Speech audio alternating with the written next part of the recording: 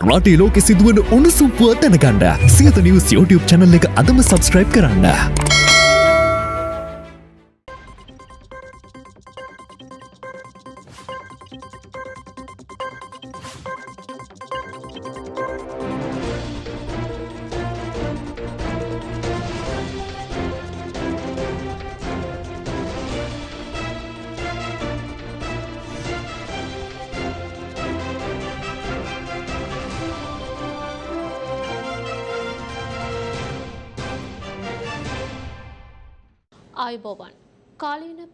වාර්තාකරණයේ අංක එක.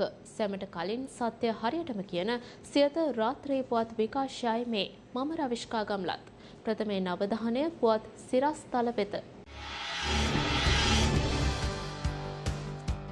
අයවැයෙන් මැතිවරණයට වෙන් කළ මුදල් රඳවා ගැනීමට එරෙහිව ශ්‍රේෂ්ඨාධිකරණයෙන් තහනම් නියෝගයක්. පුංචි චන්දේ දිනතීරණය තවත් සතියකින් කල්යයි. පාරට බැස්සට වැඩක් නැහැ ආණ්ඩු වෙනස් කරන්න පුළුවන් මහමැතිවරණයකින් විතරයි ජනපති කියයි. කංචනගේ ප්‍රතිවිහගත කරණයට වෘතිය සංගම්වල ප්‍රතිචාර ඉහළ ගිය විදුලිබිලට එරෙහිව රට පුරා විරෝධතා.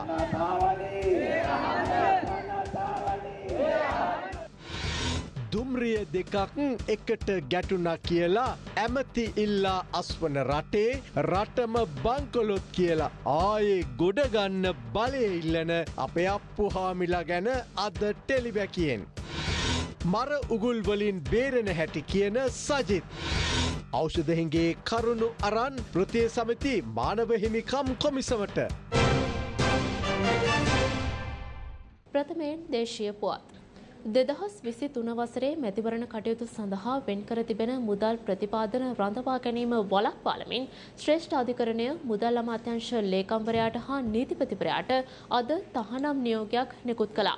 ඊට අමතරව ඡන්ද පත්‍රිකා මුද්‍රණය වෙනුවෙන් රජයේ මුද්‍රණාලය සඳහා වෙන්කර තිබෙන මුදල් ප්‍රතිපාදන රඳවා ගැනීමද වලක්පාලමින් තවත් අතුරු නියෝගයක් නිකුත් කිරීමටයි ශ්‍රේෂ්ඨ අධිකරණය කටයුතු කළේ. සමගි ජනබලවේගේ මහලේකම් රංජිත් මත්තුම බණ්ඩාර ඉදිරිපත් කළ මූලික අයිතිවාසිකම් පෙත්සමක් විභාගයට ගැනීමට අවසර ලබා දෙමිනුයි අධිකරණය මේ තීන්දුව ලබා දුන්නේ. මැතිවරණය පැවැත්වන දිනය මාර්තු 9ට පෙර ප්‍රකාශයට පත් කරන බව මැතිවරණ කොමිෂන් සභාව අද ප්‍රකාශ කළා.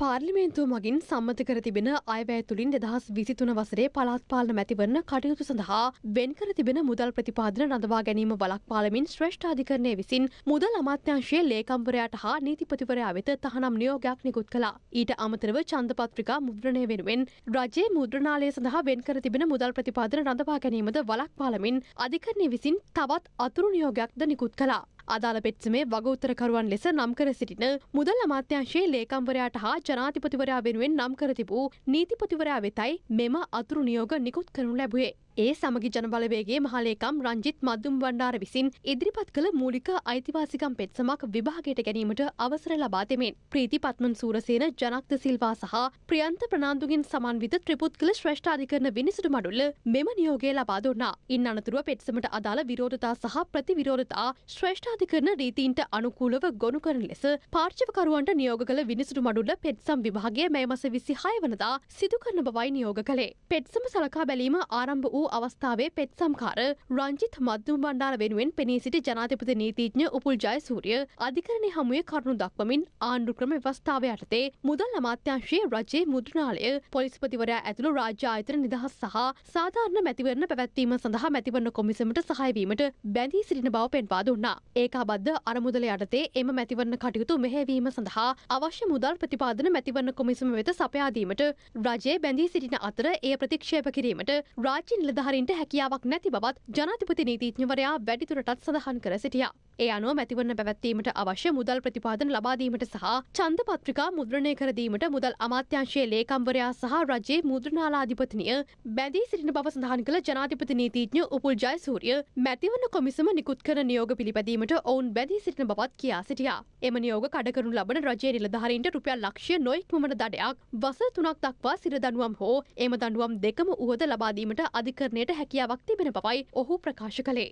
රටේ පවතින අයහපත් ආර්ථික තත්ත්වය නිසා පළාත් පාලන ඡන්ද විමසීම පැවැත්වීමට අවශ්‍ය මුදල් ප්‍රතිපාදන ලබා දිය නොහැකි බවට මුදල් අමාත්‍යංශයේ ලේකම්වරයා විසින් මැතිවරණ කොමිසමට දැනුම් දී තිබෙනවා. 2023 වසරේ මැතිවරණ පැවැත්වීම සඳහා පාර්ලිමේන්තුව මගින් රුපියල් බිලියන 10ක මුදලක් වෙන් කර තිබියදී තමයි මුදල් අමාත්‍යංශයේ ලේකම්වරයා මෙම දැනුම් දීම සිදු කර තිබෙන්නේ. පළාත් පාලන ඡන්ද විමසීම පැවැත්වීම කියන්නේ ඩොලර් අර්බුදය හා බැඳුණු කරුණක් නොවේ. අවශ්‍ය මුදල් ප්‍රතිපාදන ලබා නොදීම සහ ඡන්ද පත්‍රිකා මුද්‍රණය පාලනය කර නොදීම හේතුවෙන් පළාත්පාලන ඡන්ද විමසීම මේ වන විට කල් දමා තිබෙනවා. මේ ප්‍රජාතන්ත්‍රවාදයට නිවාඩු ලබා දීමක්, මෙය ජනාධිපතිවරණය සහ මහා මැතිවරණයේ පැවැත්වීම කල් දැමීමේ අත්හදා බැලීමක් විය හැකියි. නීතිපතිවරයා වෙනුවෙන් පෙනී සිටි අතිරේක සොලිස්ට ජෙනරාල් ප්‍රියන්ත නවාන අධිකරණය හමුවේ කරුණු දක්වමින් ප්‍රජාතන්ත්‍රවාදය හෝ මූලික අයිතිවාසිකම් උල්ලංඝනය කිරීමේ චේතනාවක් රජයට නැති බවත් ජනතාවගේ සර්වජන චන්ද අයිතිය මෙන්ම අයිතිවාසිකම් ආරක්ෂා කිරීමට සහ ප්‍රවර්ධනය කිරීමට රජය කටයුතු කරන බව කියා සිටියා. මුදල් අමාත්‍යංශයේ ලේකම්වරයා හිතාමතාම මැතිවරණ කටයුතු සඳහා මුදල් නිකුත් නොකරන බවට පෙත්සමේ නෙල්ල කර තිබෙන චෝදනා මා ප්‍රතික්ෂේප කරනවා. ඔහු මැතිවරණ කොමිසමේ පැවති සාකච්ඡාවලට සහභාගී වුණා. මැතිවරණ කටයුතු සඳහා මැතිවරණ කොමිසමට රුපියල් මිලියන 100ක මුදලකුත් රජයේ මුද්‍රණාලයට රුපියල් මිලියන 40ක් සහ ශ්‍රී ලංකා පොලිසියට රුපියල් මිලියන 25ක මුදලකුත් නිකුත් කිරීමට මුදල් අමාත්‍යංශයේ ලේකම්වරයා පියවරගෙන තිබෙනවා. එසේනම් මැතිවරණ ක්‍රියාවලියට ඔහුට ඔහු බාධා කරන්නේ යැයි චෝදනා කරන්නේ කෙසේද රට තුළ උද්ගතව තිබෙන අයහපත් ආර්ථික තත්ත්වය හමුවේ රාජ්‍ය වියදම් සීමා කිරීමට අමාත්‍ය මණ්ඩලය තීරණය කර තිබෙනවා. අත්‍යවශ්‍ය සේවාවන් සඳහා පමණක් මුදල් වෙන් කිරීමටයි රජය තීරණය කර තිබෙන්නේ. මැතිවරණ පැවැත්වීම අත්‍යවශ්‍ය කටයුත්තක් නොවේ කියා මා කිසිදු අවස්ථාවක සඳහන් කරන්නේ නැහැ. රටේ ආර්ථික තත්ත්වය නගා සිටුවීම සඳහා රජ්‍ය ජාත්‍යන්තර මූල්‍ය අරමුදල වැනි ජාත්‍යන්තර ආයතනවල සහය පතා තිබෙනවා. මෙම තත්ත්වය මුදල් ලේකම්වරයා විසින් නාමයෝජනා කැඳවීමට පෙර මැතිවරණ කොමිසමට පැහැදිලි කර සිටියා. එසේ එසේනම් චන්ද විමසීම පැවැත්වීමට ඇති හැකියාව පිළිබඳව මැතිවරණ කොමිසමට තීරණයක් ගැනීමට අවකාශය තිබුණා.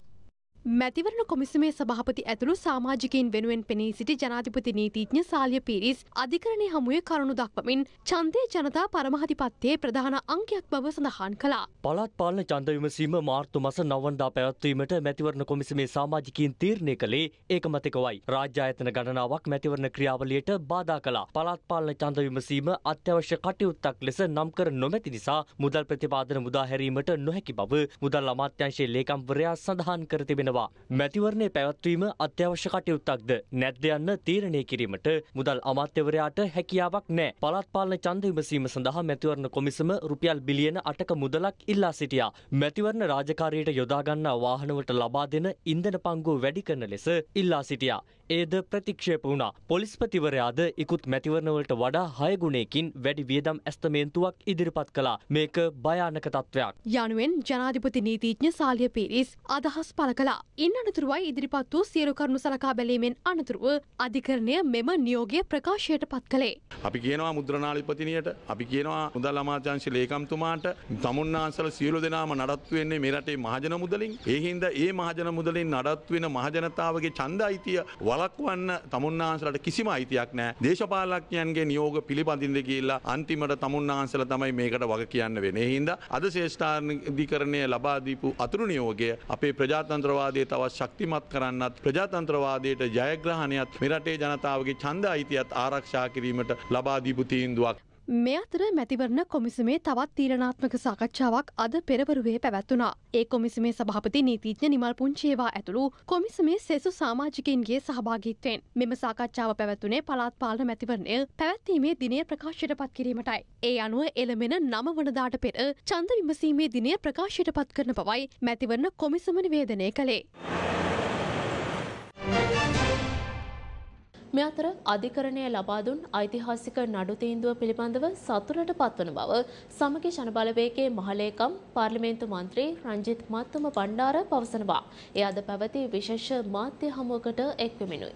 මේ රටේ ඒකාධිපති ජනාධිපති මේ ඡන්දය වළක්වන්න කටයුතු කරද්දී අපිට විශ්වාසය තිබ්බා මේ රටේ අධිකරණය ගැන. අපි අධිකරණයට ස්තුතිවන්ත වෙනවා. අද රජය මම හිතන්නේ මුදල් නැති නිසා නෙවෙයි ඡන්ද නැති නිසා තමයි මේකට යන්න බැරි වුනේ. ජනතාවට කියනවා මේ ජයග්‍රහණයත් එක්ක අපි මේක හොඳ සලකුණක් මේක හොඳ ආරම්භයක් මැතිවරණයත් මේ විදිහටම අපි ජයග්‍රහණය. අනගාටු මේ රටේ පොලිස් නීතිය ගැන එක්කෙනෙක්වත් රජයේ මුද්‍රාලේ හිටියේ නෑ. මම හිතන්නේ අපිට නිකන් සැකයක් තියෙනවා ඊළඟට මේ වගේ දෙයක් කරයිද කියලා. අපට වඩා ලොකු ආණ්ඩු ක්‍රම ව්‍යවස්ථාව. ඒද ජනාධිපතිතුමාගේ කොළ කෑලි වලට වැඩ කරන්න ගියොත් ඒ රාජ්‍ය නිලධාරීන් මතක තියාගන්න ඕනේ කවදා හෝ දවසක ජනතා අධිකරණයකින් දඬුවම් විඳින්න වෙනවා. දැන් මත් කොමිසම තීන්දුව කරන්න යන්නේ ඡන්දේ තියෙන දවසක්. කලින් මැතිවරණ කොමිසම තීන්දුව කරන්න හැදුවේ නාමික දිනයක්. නිකන් නමට දිනයක් දාන්න තමයි හිටියේ කොමිසම. මොකද කොමිසම මේක අතහැරලා හිටියේ. ඒ නිසා අපි අද ලබාගත්තේ ඓතිහාසික ජයග්‍රහණයක්. රනිල් වික්‍රමසිංහ මැතිතුමාගේ ওই ජනාධිපති පුටුව දින ගණනකට සීමා වෙලා තියෙනවා. කොයි වෙලාවෙ මේ පුටුව නැති වෙයිද දන්නේ නැහැ.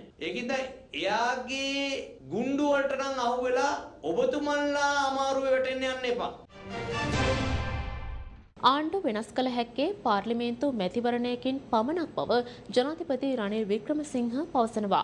ජනාධිපතිවරයා පෙන්වා දෙන්නේ වීදි පැසීම ඊට විකල්පයක් වන්නේ නැති බවයි.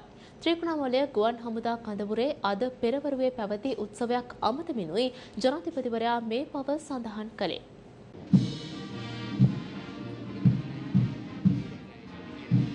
ත්‍රිකුණාමලය ගුවන් හමුදා කඳවුරේ ගුවන් හමුදා අධිකාරියට පත් කැඩෙන් නිලධහරින්ගේ විසරයාමේ උළෙල අද පැවැත්වුණා. ඒ ජනාධිපති රනිල් වික්‍රමසිංහගේ ප්‍රධානත්වයෙන්. ගුවන් හමුදා කඳවුර වෙත පැමිණි ජනාධිපතිවරයා ගුවන් හමුදා උත්තමාචාර සහිතව පිළිගනු ලැබුවා. අධිකාරී පත්කිරීමේ ක්‍රියාවලිය කරගෙන යාමට ඔබගේ අවසරය ජනාධිපතිතුමනි.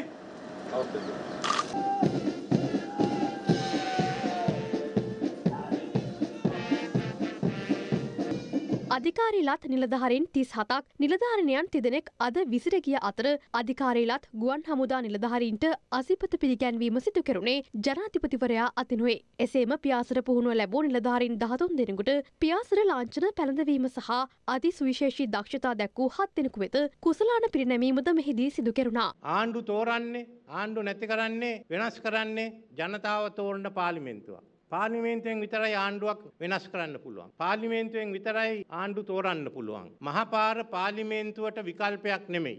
අපි එහෙනම් මේ ආයතන ආරක්ෂා කරන්න ඕනේ. විශේෂයම පාලිමේන්තුව. මම කැමති මේ ත්‍රිවිධ හමුදාව පාලිමේන්තුව ගිය ජූලි මාසේ ආරක්ෂා කිරීම ගැන ඒ අයට විශේෂයෙන් මගේ ස්තුතිය යළිත් ප්‍රකාශ කරන්න. පාලිමේන්තුවක් නැත්තං රටේට නීති සම්මත කරන්න බලයක් නෑ. ඒ නිසා අපේ රට ආරාජිත වෙන්න පුළුවන්. පාර්ලිමේන්තු නැති රටවල් ආරාජිත වෙනවා. නැත්තම් ප්‍රජාතන්ත්‍රවාදය නැති වෙනවා. ඊළඟට අපේ රට ආරක්ෂා කරන්නට නම් අද අපි තවත් ප්‍රශ්නයකට මුහුණ දීලා තියෙනවා. ඒ තමයි ආර්ථිකය. සම්පූර්ණයෙන්ම ආර්ථිකය කඩා වැටුනොත් අපිට රටක් නැහැ. අපි ඒ නිසා විශේෂයෙන්ම මේ ආර්ථිකය ආරක්ෂා කරන්න ඕනේ. මේ දවස් කීපෙදී විශේෂයෙන්ම මේ රටේ ආර්ථිකයට සුබදායක ආරංචි ගෙනෙන්න මම සාකච්ඡා කීපයකුත් වෙනත් සංවිධානත් සාකච්ඡා පවත්වලා තියෙනවා. මේ ආර්ථිකය නැති වුණොත් අපිට රටක් නැති වෙනවා. එහෙනම් රටේ තියෙන ව්‍යවස්ථාවෙන් ඇති කරපු මූලික ආයතනත් ආර්ථිකයත් ඒ දෙකම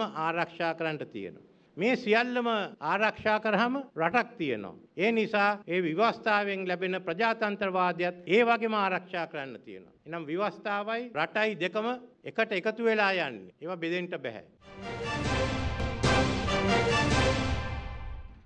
ගෝලීය ආර්ථික වර්ධන වේගය මේ වසරේත් පහළ අගයක පවතින බව ජාත්‍යන්තර මූල්‍ය අරමුදල නිවේදනය කරනවා.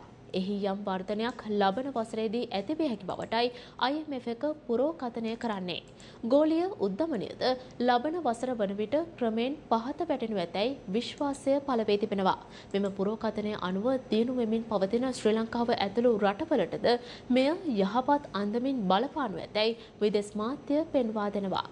දෙදහස් විසි දෙක වසරේදී ඇස්තමේන්තු ගත ගෝලීය වර්ධන වේගේ වූ සියට තුනයි දශම හතරකාගේ මෙම වසර වන විට සියට දෙකයි දශම නමය දක්වා අඩුවනු ඇති බව ජාත්‍යන්තර මූල්‍ය අරමුදල වාර්තාවක් නිකුත් කරමින් පෙන්වා දෙනවා. දෙදහස් විසි හතරේදී මෙය සියට තුනයි දශම එකක් දක්වා යම් වර්ධනයවීමක් සිදුවනු ඇති බවටයි ජාත්‍යන්තර මූල්‍ය අරමුදල පුරෝකථනය කර ඇත්තේ. COVID-19 ගෝලිය වසංගතය සහ රුසියා යුක්‍රේන යුද්ධය හේතුවෙන් ගෝලිය ආර්ථිකයට ඇති වූ බලපෑම ක්‍රමයෙන් පහව ගොස් ගෝලිය ආර්ථිකය යම් වර්ධන වේගයක් අත්පත් කරගනු ඇති බව ජාත්‍යන්තර මූල්‍ය අරමුදලේ අදහසයි. ශ්‍රී ලංකාව ඇතුළුව සංවර්ධනය වෙමින් පවතින ආසියානු රටවලටද මෙය යහපත් අන්දමින් බලපානු ඇති බවයි ජාත්‍යන්තර මූල්‍ය අරමුදල පෙන්වා දෙන්නේ. කෙසේ වෙතත් මෙම ආර්ථික පසුබිම හමුවේ ශක්තිමත් ආර්ථිකයක් සහිත රාජ්‍යන්වල කැපී පෙනෙන වර්ධනයක් සිදු නොවීමද විශේෂත්වයක්. මෙම නවතම වාර්තාව පෙන්වා දෙන පරිදි දෙදහස් විසි හතරේදී ගෝලිය උද්දමන මට්ටමද අවම අගයක් ගනු ඇති බව ජාත්‍යන්තර මූල්‍ය අරමුදලේ අදහසයි. දෙදහස් විසි දෙකේ ගෝලිය උද්දමනය සියට අටයි දශම අටේ සිට මේ වසරේදී සියට හයයි දශම හයක් දක්වා ළඟාවනු ඇති බව ජාත්‍යන්තර මූල්‍ය අරමුදල උපකල්පනය කරනවා. ඉදිරි වසරේදී එනම් දෙදහස් විසි හතරේදී ගෝලිය උද්දමනය සියට හතර දශම තුනක් දක්වා පහත වැටෙනු ඇති බව ජාත්‍යන්තර මූල්‍ය අරමුදලේ අදහසයි. මේ අතර බදු ආදායම් සහ වියදම් අතර සමතුලිතතාවය ගොඩනැගීම සඳහා මෙරට බදු ප්‍රතිපත්තිය ප්‍රතිව්‍යුහගත කිරීම අත්‍යවශ්‍ය කාරණයක් බව ජාත්‍යන්තර මූල්‍ය අරමුදල සඳහන් කර තිබෙනවා. ජාත්‍යන්තර මූල්‍ය අරමුදලෙන් ණය ලබා ගැනීමට අවශ්‍ය සියලු කටයුතු අවසන් කර ඇතැයි මහ බැංකු අධිපති ආචාර්ය නන්දලාල් බීරසිංහ පවසනවා. එය අද කොළඹ පැවති ප්‍රවෘත්ති සාකච්ඡාවකට එක්වෙමිනුයි. මුදල් මණ්ඩලය විසින් තීරණය කරා ප්‍රතිපත්ති පොළොව අනුපාතය බේසිස් පොන්ට් 100කින් වැඩි කරන්න. ඒකට හේතුව වුණේ ජාත්‍යන්තර මුල් අරමුදලත් සමග අපි සාකච්ඡා කරලා කිසි ආකාරයක එකඟත්වයට එනකොට සැප්තැම්බර් මාසේ ඉදිරි දැක්ම තිබුණේ විශේෂයෙන් උද්දමනය පැත්තෙන් ගත්තා. මේ වෙලාවේ උද්දමනයේ සීග්‍රයන් වැඩි වීගෙන යන බලාවක මේ උද්දමනය පාලනයක් නැතුව තවත් ඉදිරියට යයි කියන යම් කිසි ආකාරයක කන්සර්න් එකක් තිබුණා. විදේශ විනිමය වෙළඳපොලේ තත්ත්වය ගැන ඒ වෙළඳපොළ තුලින්ම විනිමය අනුපාතය ස්ථාර විදියට තීරණය කරන්න පුළුවන් මට්ටමකට විනිමය වෙළඳපොළ දියුණු වෙලා තියෙනද ඒක තමයි අපට අවශ්‍ය වුණේ. ඒ වැඩපිළිවෙල සහාය දැක්වීම සඳහා ක්‍රියාත්මක වීම සඳහා අපි දැන් විනිමය වෙළඳපොලේ තිබිච්ච ඒ සීමා දැන් ලබන සතියෙන් සම්පූර්ණයෙන්ම ඉවත් කරනවා. මැතිවරණය කල් ගියා ලබන සතිය තියන්න තිබ්බ මේකට ප්‍රධාන වශයෙන් කිව්වේ මුදල් නැහැ කියලා. මහා භණ්ඩාගාරයෙන් ඉල්ලීමක් කළොත් මහා බැංකුවට පුළුවන්කමක් තියෙනවද ඒ අවශ්‍ය කරන මුදල් මුදාහරින්න? මහා භාණ්ඩාගාරයෙන් අපෙන් සාමාන්‍ය එහෙම ඉල්ලීම් කරන්නේ අපි කරන්නේ මහා භාණ්ඩාගාරයෙන් මාස මාසේ කෑෂ් ෆ්ලෝ එකට ආවට පස්සේ මේ සතියෙන් සතිය ණය ගෙවීමට ඒවට අවශ්‍ය මුදල් කොච්චර ප්‍රමාණයක් අවශ්‍ය වෙනවද කියලා කිව්වහම අපි බිල් ඔප්ෂන් හරි බොන්ඩ් ඔප්ෂන් හරි තියලා ඒ ගන්න රේස් කරලා දෙන එක තමයි කරන්නේ. ඒක පාවිච්චි කරන්නේ මොන කරද කියන එක ඒක මහා භාණ්ඩාගාරයේ කාර්යයක් තමයි. මේ සතිය තුළදී ඩොලරේ විශාල පහළ යාමක් දකින්න ලැබුණා. මේකට ප්‍රධානම හේතුව මොකද්ද සහ මේ හරහා දේශීය වශයෙන් භාණ්ඩ මිලේ පහළ යාමක් සිද්ධ වෙන්න පුළුවන්. විශේෂයෙන් මේ සතියේ අත වශයෙන්ම අපි මෙදියත් වෙලා රුපියල් 300ක් වගේ ප්‍රමාණයක් අපි මිලදී ගත්තේ නැත්නම් මේක ලොකු කරන්සි ක්‍රෑෂ් වෙනවා කියන තත්ත්වයට පත් වෙන ඉඩ තිබුණා. ඒ නිසා තමයි අපි යම්කිසි ආකාරයක ක්‍රමානුකූලව යම්කිසි ආකාරයකට ඉඩ දෙමු. මොකද ඒක මොන පැත්තකට හෝ එහෙම විශාල වශයෙන් වෙනස් වෙන එක හොඳ නැහැ. මම හිතන්නේ විදේශ විනිමය මුදල් රැස් කරගෙන හිටපු අය මේක රුපියල් බවට පත් කරන්න පෙළඹිලා තිබුණ නිසා තමයි මම හිතන්නේ ඒකට හේතුව. නමුත් මේ අවස්ථාවෙන් අපි ප්‍රෝජන අරගෙන අපි සංචිත යම් කිසි ආකාරයක රැස් කරගෙන තියෙනවා. උද්දමනයේ කලින් බලාපොරොත්තු වෙතර වඩා යම් කිසි අඩුවීමක් වෙන්න පුළුවන්. ඒකාබද්ධ වෘත්තීය ක්‍රියාමාර්ග අතරතුරත් සේවයට වාර්තා කළ ලංකා විදුලි බල මණ්ඩලයේ සේවක සංඛ්‍යාව සියයට හැටක් පමණ වන බව අමාත්‍ය කංචන විජේසේකර පවසනවා. මෙම තත්ත්ව අනාගත ප්‍රතිව්‍යුහගත කරන ක්‍රියාවලිය සඳහා නිර්ණායකයක් බවයි ඔහු පෙන්වා දෙන්නේ. මේ සම්බන්ධයෙන් ප්‍රතිචාර දක්වන විදුලි වෘත්තීය සංගම් පෙන්වා දෙන්නේ අමාත්‍යවරයා විදුලි බල මණ්ඩල සේවකයින් බිය වැතීමට උත්සාහ කරන බවයි. වෘතිය වේදීන්ගේ ඒකාබද්ධ වෘතිය ක්‍රියාමාර්ග පැවති පසුගිය පළවනදා ලංකා විදුලි බල මණ්ඩලේ සේවක පැමිණීම සියට හැටක් බව අමාත්‍ය කංචන විජේසේකර පවසනවා. ඒ සිය ට්විට ගිනුමේ සටහනක් තබමින්. මෙම සේවක පැමිණීම අනාගත ප්‍රතිව්‍යුහගත කරන ක්‍රියාවලිය සඳහා නිර්ණායකයක් වන බවයි එහි සඳහන් වන්නේ. එදින ඇතැම් සේවාවන් ජනතාවට ලබා ගැනීමට හැකියාවක් ලැබුණේ නැතත් අකණ්ඩව විදුලි සැපයුමකට අවශ්‍ය සේවක සංඛ්‍යාව පිළිබඳ සලකා බැලීමට මෙමගින් හැකිවනු ඇති බවයි අමාත්‍යවරයා පෙන්වා පෙන්වා දෙන්නේ. සේවක පැමිණීම පිළිබඳ දත්ත සටහනක්ද මෙම ට්විට පණිවුඩේ දක්වා තිබූ අතර වෘත්තීය ක්‍රියාමාර්ග පැවති දිනේ වැඩිම සේවක සංඛ්‍යාවක් සේවයට වාර්තා කර තිබුණේ ආයතනික ක්‍රමෝපාය අංශයේ. අවම පැමිණීම සටහන් ඇත්තේ සම්ප්‍රේෂණ රැහැන් අංශයේ. එය ප්‍රතිශතයක් ලෙස සියට දාහතයි දශම හතරක්. අමාත්‍යවරයාගේ ට්විට සටහන සම්බන්ධයෙන් වෘත්තීය සමිති දැක්වූයේ මෙවන් ප්‍රතිචාරයක්. ඇමතිවරයට පළවෙනිද අපි ගත්ත ක්‍රියාමාර්ගයේ රතු සලකුණක් බවට පත් වෙලා තිබෙනවා. බිය වැද්දීමට උත්සාහ කරමින් ඉන්නවා සේවකයින්ව වෘත්තිාමිති ක්‍රියාමාර්ගයට යන්න එපා. ප්‍රතිවකරණ කිරීමේදී ඔහුගේ වචනෙන් කියනවා නම් එබ සේවකයන් සම්බන්ධයෙන් තමයි ප්‍රථමයෙන් සලකා බලන්නේ කියලා. විශේෂ අපි ඇමතිවරයට කියන්න ඕන තිබෙනවා. ඉදිරියේදී ගන්න ක්‍රියාමාර්ගත් අපි අනිවාර්යයෙන්ම ගන්න දැඩි ක්‍රියාමාර්ග අධිකරණයේ නියෝගවල අපි ගරු කරනවා. හැබැයි මේ තක්කඩි ආණ්ඩුවේ නීති රීති වලට සහ ඇමතිවරයාගේ බොළඳ ප්‍රකාශ වලට යට වෙලා අපි අපේ ක්‍රියාමාර්ග අකුල ගන්න අපි සූදානම් වෙන්නේ නැහැ. මේ අතර විදුලි බිල ඉහළ දැමීමට හේතු වී ඇත්තේ වැඩි මිලට විදුලිය මිලදී ගැනීමට ගෙන ඇති වංචා සහගත කටයුතු හේතුවෙන් බව සමගි ඒකාබද්ධ වෘත්තීය සමිති සන්ධානය පවසනවා. වැඩි මිලට විදුලිය අරගෙන වංචනික ගිවිසුම් වලින් ඒ සමාගම් වලට සහන දීලා ඒ දුන්නු සහන අසරණ ජනතාවගෙන් ගසා කාලා ඒ වලින් කොමිස් ගන්නයි විදුලි බිල වැඩි කිරීම. මේ විදුලි බිල වැඩි කිරීම තාමත් අනීතිකයි නීති විරෝධී. මේ අතර අදත් ඉහළ ගිය විදුලි බිලට එරෙහිව ප්‍රදේශ කිහිපයක විරෝධතා සංවිධාන කර තිබුණා.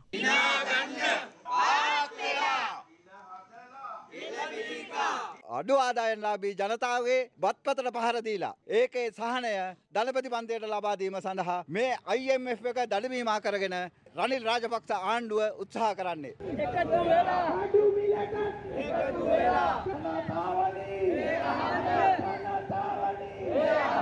සමස්ත රටටම කරන්ට එක වැදුන හා සමාන ක්‍රියාවලියකට අවිල්ල තියෙනවා. ජනතාව සූදානම් ආණ්ඩුවට කරන්ට එක බද්දන්න. දූෂණය වංචාව නාස්තිය අක්‍රමිකතා සහ ආකාරයක්ෂමතාව ගැන රටට ඇත්ත කියන ටෙලිවිෂන් ටෙලිවැකිය දැන්. ටෙලිවිෂන් ටෙලිවැකිය. අද ලියන්නේ දෙසිය තිස්වැනි ටෙලිවැකිය. ඔබට මතක ඇති අප අලුත් ආණ්ඩුක්‍රම ව්‍යවස්ථාවක අවශ්‍යතාව පිළිබඳව ටෙලිවැකි තුනක්ම ලිව්වනේද. නමුත් මේ අපට ඔය ඉතිරි ටෙලිවැකි ලියාගන්ට බැරිවුණා මොකද වෙනත් වෙනත් මාතෘකාව නිසා. දැන් අදත් එහෙමයි. අද කතා කරන්න වෙනෙත් පුංචි චන්දේහා ඔය අපේ දේශපාලනක්ඥගේ කල්කිරියාව ගැන. හරිනි දැම් පුංචි චන්දය කල්දාන්න දරන උත්සහය ගැන අපි ඔය මුදල් අමාත්‍යන් ශෙලීකම්ටයි ඔය රජයේ මුද්‍රනාලයාධිපතිනි ගංගානිටයි නේද හරියට දොස් පවරමින් හිටිය. අපිත් ඒ අය වැරදිී කියලා කිව්වා. නමුත් ඉතින් චන්දය කල්දැමීමේ මහමොලක මහමොලකරු කවුද කියලා දැන් රටම දන්නවන නේද. මහමොලකරු පළවෙනි වතාවට තමයි මේ මහමොලකරුවෙක් තමන්ම මහමොලකරු කියලා එලිදරව් කළේ නේද ඔන්න අහන්නකෝ විවාදිල්ුවේ චන්දය කල්දානවා කියලා. චන්ද කල්දාලා නෑ කල්දාන්න චන්දයක් නෑ. නිල වශයෙන් නීති අනුකුල චන්ද දිනයක් නෑ දැනට මුදල් නෑ. ඒත් දැනට චන්දෙකුත් නෑ. චන්දෙ තියන්න මුදල් නෑ මුදල් තිබුණත් චන්දයක් නෑ. ඉතින් මොනා කරන්නද? දැන් මේ නිකම්ම එහෙ මෙහෙ අහුමුල්ලක එහෙම නෙමෙයිනේ මේ කතාව කිව්වේ නේද? නිකම්ම නිකං කෙනෙකුත් නෙවෙයිනේ කිව්වේ නේද? රටේ විධායක ජනාධිපති උත්තරීතර ව්‍යවස්ථාදායකය තුල ඉඳලා කියනවා තියන්න ඡන්දයකුත් නැහැ නේද? ඡන්දයක් තියන්න දිනයකුත් තිබුණේ නැහැ නේද? ඒ නිසා ඡන්දේ තියන්න මුදලුත් නැහැ. හොඳයි ඡන්දයක් නැහැ කියලා නේද? දැන් බලන්නකෝ අපේ රටේ අපූර්ව මේ අපේ දේශපාලනඥයින්ගේ හැඩතල කියවන්නකෝ නේද? ඒකාධිපති විධායකේ කියනවා ඡන්දයක් නෑ. තියන්න සල්ලිත් නෑ. තිබ්බත් තියන්ට විදිියකුත් නෑ නේද? මේ ජාතිය කතා කියනකොට එතකොට කවුද අත්පොල සන්දුන්නේ ජනතාවගේ චන්දයෙන් පත්වෙලාපු මන්ත්‍රීවරුන් මොකෙන් ගියයිද? ජනතාවගේ චන්දයෙන් පත්වෙලා ගිය අය නේද? අගමැතිත් එක්කම. ඒකනේ පුදුමේ. දැන් ඔතන ඕන නම් ඔය චිට් එකෙන් නැත්තං ඔය ලිස්ට එකෙන් නෙවත් නැත්තං ඔය ජාතික ලැස්තුව කියන එකෙන් ගිය මන්ත්‍රීවරු ටික දෙනෙක් ඇති. යනිත් හැමෝම ගිය චන්දෙන්නේ නේද? චන්දයක් තියන්නේ නෑ කියලා කියනකොට චන්දේ තියන්ට සල්ලි නෑ කියනකොට නේද? බලන්නකෝ මේ ඒ අයගේ සතුට. දැන් සමහරුන්ට අමතකයි මේ ජනපති චන්දයෙන් ආපු කෙනෙක් නෙමෙයි. මේ ජනපති චන්දයක් පැරදිලා තමන්ගේ ආසනයවත් දිනාගන්ට බැරුව ජනතාව ගෙදරයවපු කෙනෙක්. දයා චන්දට බයක සාධාරණයිනි නේද? ඊට පස්සේ තම පක්ෂයට හිමි ජාතික ලැයිස්තුවෙන් පාර්ලිමේන්තුවාව කියලන අපි දන්නේ නේද? දැන් එහෙව් කෙනා චන්දයක් තියන්නේ නෑ කියන එකෙත් එක්තරා විදික ඇත්තක් තියෙනවා නේද? තියන්න සල්ලි නෑ කිව්ව හම ඊට අත්පොලසන් දෙමින් එය අනුමත කර මේ බොර්ලුගොඩ සිංහයාගේ පුත්‍රයා කියලා විරුදාවලිලත් අගමැතික ඉඳලා අත්පල සන්දුන සිලු දෙනා ගැනම ඇත්තටම මොනතරං අපූලක් අප්‍රියාවක් අප්‍රසන්න බවක් දැනෙනවාද නේද.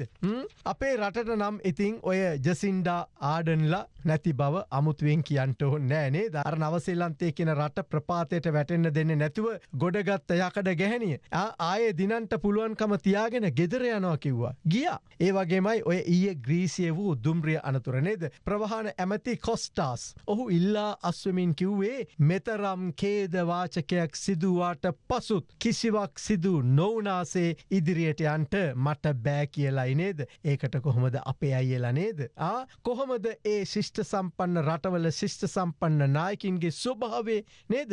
හැත්තේ පස්වසරක් රට්ටකාපු උන්දලා.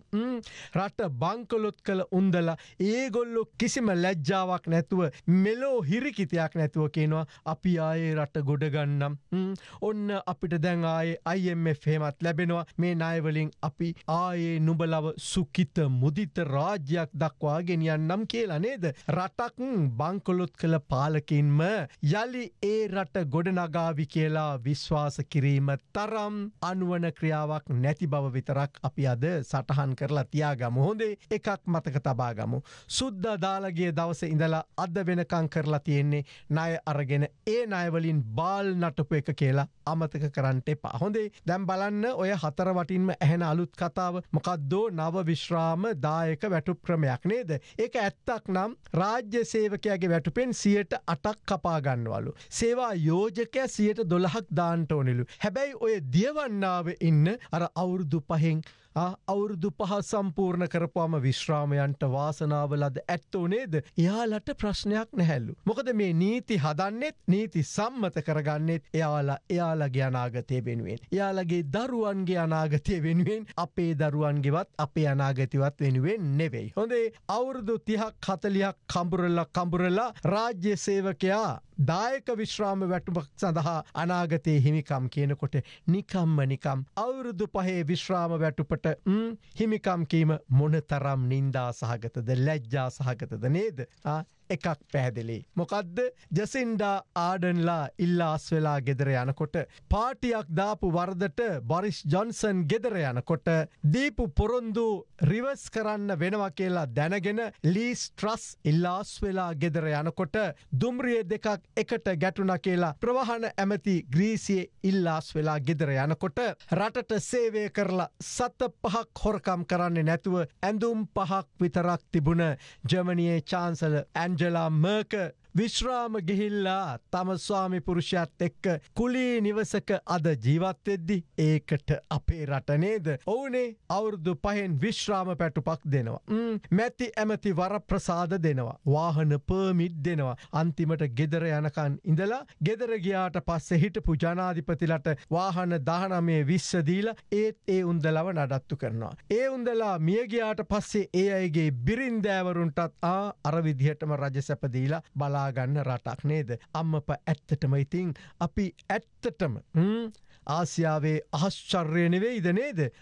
අපට මේ සුබ අනාගතයක් ලැබිලා තියෙන්නෙම අන්න ඒ ආශ්චර්යේ බල මහිමේ නිසා කියලා ඒනම් ඉතිං අද ටෙලිවැකිය අවසන් කරන්නම් හොඳේ.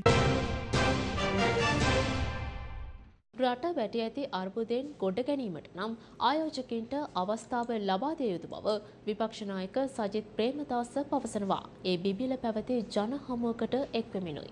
සමගි ජනබලවේගේ ජන රැලියක් බිබිල මැදගම ප්‍රදේශයේදී පැවැත්වුණා. ඒ විපක්ෂනායක සජිත් ප්‍රේමදාසගේ ප්‍රධානත්වයනුයි. අනාගත නායකතුමන්ට සජිත් ප්‍රේමදාස පැත්තුමන්ට සජිත් ප්‍රේමදාස පැත්තුමන්ට අපි ඉන්නේ මහා මරෝගුල් රැසකට තෙරපිලා. මේ මරවුගුලෙන් මිදෙන්නට අද අපිට කරන්න තියෙන උපක්‍රමය තමයි. ලෝකේ තියෙන ෆෝචුන් 500 කම්පනීස් වලට අපි ආරාධනා කරන්නට ඕන එන්න අපේ රටට ඇවිල් ආයෝජනය කරන්න අපි ඔබගෙන් සියයට දහයේ සියයට පහළවේ සියයට විස්සේ කොමිස් මුදල් ඉල්ලන්න හැ. අපි ඔබට මේ රටේ තාරුණ්‍යයට රැකී රක්ෂා ලබා දෙන අප නයන කේන්ද්‍රස්ථාන බිහි කරන්නට අපි දෙන්න පුළුවන් උපරිම සහයෝගය ලබා දෙන්න. මම අහනවා සජි ප්‍රේමදාස මහත්මයා කවදා හරි සත පහක් හොරගම් කරලා තියෙනවද? මම අවුරුදු 42ක් දේශපාලනය කරනවා. මම අවුරුදු 42ේම සත පහක් වංචා කළත් නෑ ජනතාව ඒක දන්නවා. රනිල් වික්‍රමසිංහ කාටද ආර්දනය කරේ? රනිල් වික්‍රමසිංහ ආදරය කිය තමන්ට විතරයි. පක්ෂයේ බින්දුවට බැහැනකම් අවුරුදු 29ක් නායකයා දැන් කියනවා මම එක්සත් ජාතික පක්ෂයේ වේදිකාවට නගින්නේ රාජපක්ෂලා ආදරය කරේ තමන්ගේ පවුලට විතරයි. මම යහපාලන ආණ්ඩුවට ගියාමකව මම UNPට ගියා කිය. මට ඡන්දයක් නොදෙන තැනට පත් කරා. මං අහනවාද එහෙම කියපු අය කොහෙද ඉන්නේ සසේන්ද්‍ර රාජපක්ෂලා? අද ඉන්නේ රනිල් වික්‍රමසිංහ එක්ක. අද ඉන්නේ අලියත් එක්ක. විජිත බේරුගොඩ ඉන්නේ අලියත් එක්ක. කුමාරසිරි ඉන්නේ අලියත් එක්ක. සුමේද නෝනත් අලියත් එක්ක. මේ ඔක්කොම අලියත් එක්කනේ ඉන්නේ.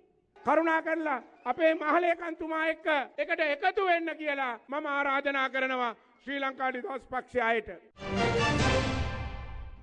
සෞඛ්‍ය වෘතිය සමිති කිහිපයක් අද මානව හිමිකම් කොමිෂන් සභාවට කැඳවා තිබුණා. ඒ ඖෂධ හිඟේ ඇතුළු කරුණු කිහිපයක් සම්බන්ධයෙන් පැමිණිල්ලකට අදාළ ප්‍රකාශ ලබා දීම සඳහායි. ජනතාවට ඖෂධ නොලැබීම ඇතුළු කරුණු කිහිපයක් මුල්කර ගනිමින් ශ්‍රී ලංකා වෛද්‍ය සංගමය පසුගේදා මානව හිමිකම් කොමිසමට පැමිණිල්ලක් ඉදිරිපත් කළා. එම පැමිණිල්ලට අදාළව කරුණු දක්වන්න අද සෞඛ්‍ය වෘත්තීය සමිති කිහිපයක් මානව හිමිකම් කොමිසමට පැමිණියා. මේ රටේ නිදහස් සෞඛ්‍ය ක්‍රියාත්මක වන රටක් ඇතුලේ ඖෂධ ගන්න පහසුකම් සැපයීම තමයි රාජ්‍යයක වගකීම වෙන්නේ. වගකීම කඩ කරපු දේශපාලක නිසා රාජ්‍ය නිලධාරීන්ට විරුද්ධව වෘත්තීය සමිති සහ බහුජන සංවිධානය එකතු වෙලා මානව හිමිකම් කොමිසම සභාවට පැමිණිල්ලක් ඉදිරිපත් කළා. ඖෂධ හිඟේ රටේ නිර්මාණය කිරීම, ඖෂධ මිල ඉහළ යාම, සැලසුම් සහගත සාපරාධී මනුෂ්‍ය ඝාතන වලට තැත් කිරීමක් යයි සලකලා මිනිසුන්ගේ මානව අයිතිවාසිකම් කඩවීම සම්බන්ධයෙන් පැමිණිල්ලක් ඉදිරිපත් කළා. මේක විමර්ශන කරලා මේ ඖෂධ හිඟේ සහ ඖෂධ මිල ඉහළ යාම පාලනය කිරීම සඳහා දේශපාලකීන්ට සහ සෞඛ්‍ය අමාත්‍යාංශයට උපදෙස් ලබා දෙන්න කියන කරුණ. අත්‍යවශ්‍ය ඖෂධ වලින් 150කට වැඩි සංඛ්‍යාවක් අ, සෞඛ්‍ය අමාත්‍යාංශයේ වෛද්‍ය සැපයීම් අංශය තුල නැහැ. මේ தත්ත්වය තවත් බරපතල විය වීමේ හැකියාව තියෙනවා. ඒ නිසා මේ පිළිබඳ වහාම මැදිහත් වෙලා ක්‍රියාමාර්ග ගන්න කියන එක තමයි අපි අ, මානව හිමිකම් කොමිසමෙන් ඉල්ලා සිටියේ. සෞඛ්‍ය අමාත්‍යාංශය ආර්ථික අර්බුදයක් තියෙනවා කියලා තමන්ගේ සියලු නොහැකියාවන් වහගන්න හදනවා. සෞඛ්‍ය සේවාවට අත් වෙලා තියෙන ආර්ථික අර්බුදයේ ප්‍රශ්නයක් කියලා කියන්න කාටවත් බෑ. නිසා ඉතා පැහැදිලි අපි අපේ රටේ මිනිස්සුන්ට කියනවා මේකට ඉදිරිපත් වෙන්න. එම පුවතත් සමගින් රාත්‍රී පුවත් විකාශය නිමාවට පත්වනවා. ඔබට සුභරාත්‍රයක්. දිනපතා අලුත් වීඩියෝ සහ ප්‍රවෘත්ති නැරඹීමට ඉහත බටන එක ක්ලික් කර සියත TV සබස්ක්‍රයිබ් කරන්න.